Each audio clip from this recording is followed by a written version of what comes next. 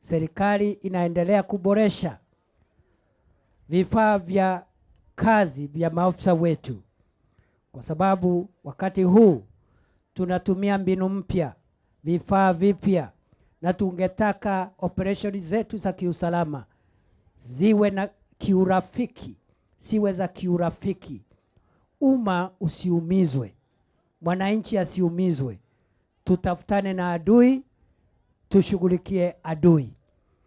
Na mimi nataka niseme ya kwamba katika hii vita ya ugaidi, maofisa wetu ambao mnafanya kazi hapa, Mungu akinijalia, nikiwa waziri wenu, nitafanya ziara mingi ili tujumuike na nyinyi katika sehemu zenu za kazi. Msijione kama mmewekwa hapa mukae hapa peke yenu.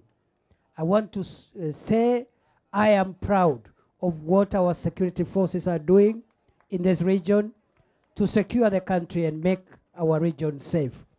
I will be visiting them and uh, so that we can engage with them and also so that I can be able to support them and give them morale even as they serve the country.